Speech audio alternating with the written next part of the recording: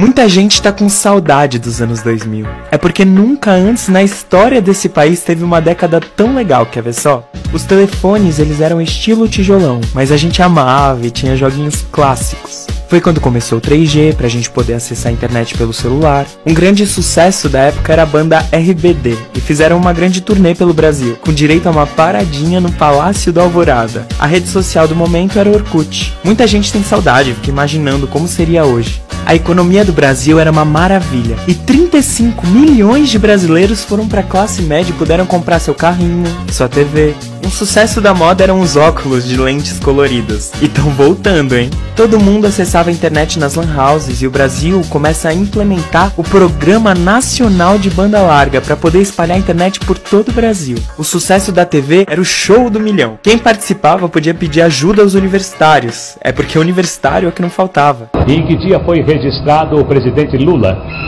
Número 1. Um. Ganhou um milhão de reais! Durante os governos do PT, foram criadas 18 novas universidades federais. Mas sabe qual era a maior moda de todas? O Brasil. E a gente tá esperando muito esse reboot. E já tem até trilha sonora. Baby,